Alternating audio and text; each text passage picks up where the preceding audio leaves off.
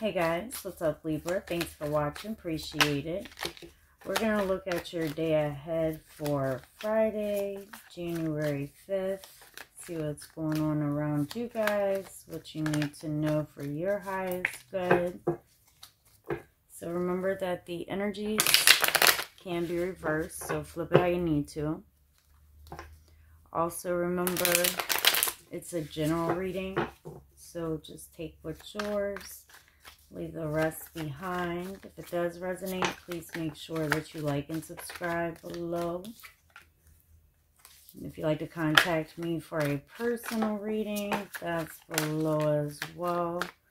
Looks like somebody could have been having either missing you or financial issues.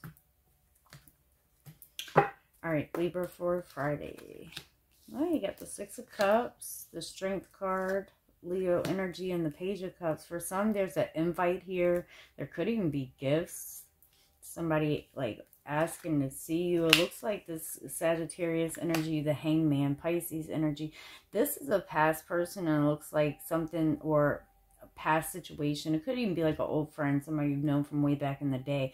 But it does look like there's been like like you let go of this. You've already moved past it, but somebody never fully let go of the situation kind of just hung on there with the strength, the eight of swords and the king of cups. It's coming like somebody really needs some confidence because they're they're they're nervous, they're worried with the eight of swords. And it does look like because you have this energy, and y'all been having this a lot of like healing, moving on. But this energy has not let go of you. This does for like a past person. It could be a friendship. It could be a past love. But it's like, uh, let's see how it's going to go. You got the Eight of Pentacles in the Nine of Swords, you've got this person pretty wrapped in their head.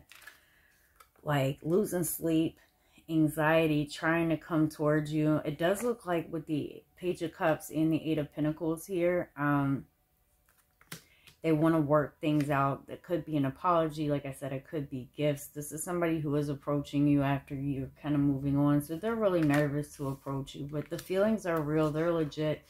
And the tower now, it's kind of like this big drive to no longer wait or kind of just go with the flow to more so act towards things.